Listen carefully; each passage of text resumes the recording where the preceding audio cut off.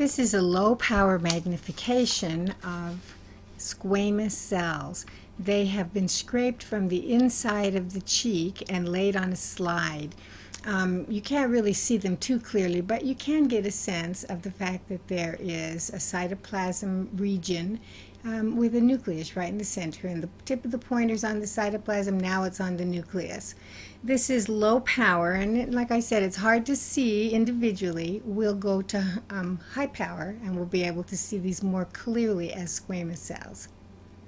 On high power, we see cells that look sort of like fried eggs. We can see a cytoplasmic region, and we can also see a nucleus in the center. And you can see the tip of the pointer pointing right to the nucleus. These don't look like flat cells because they aren't a flat in appearance until you look at them laterally. When you look at them from the side, you um, are looking at a very flat cell. We are right now viewing them from either above or below the cell. In a moment, we'll be looking at the same type of cell, however, we'll be looking at them from the lateral view, and they really will appear flat to our eyes then. On the slide that is marked kidney in your slide box, you're going to see on high power a structure that appears very different from the surrounding tissue.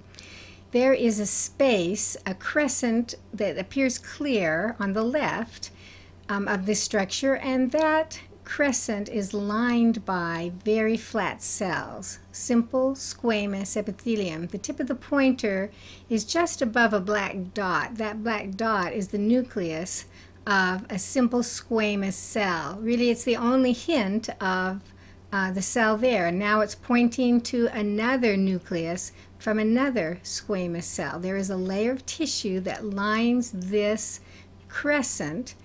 Um, they have a, a very flat appearance from a lateral view. We are looking at a lateral view of simple squamous epithelium. The next slide contains an artery, a vein, and a nerve cut in cross section. The two structures that have lumina are the artery and the vein. The tip of the pointer is in the lumen of the vein, now in the artery. Um, over to the right, we see a nerve cut in cross section. The tip of the pointer is in the lumen of an artery. Um, you can see above the tip of the pointer a squiggly pink line. That squiggly pink line is a modified basement lamina.